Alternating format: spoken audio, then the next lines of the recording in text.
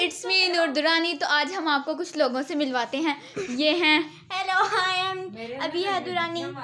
And this is our panda gang अपना अपना मुँह ना छुपाओ अपना मुँह दिखाओ। ये हमारे पास और ये देखें ये पांडे के शूज़ देखें। आपको हम पांडा का फुल लुक दिखाते हैं।